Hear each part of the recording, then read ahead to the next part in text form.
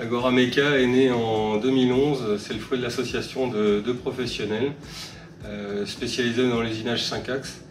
Euh, aujourd'hui, Agora Mecha, c'est 23 personnes, 3 millions de chiffre d'affaires euh, sur des clients divers et variés.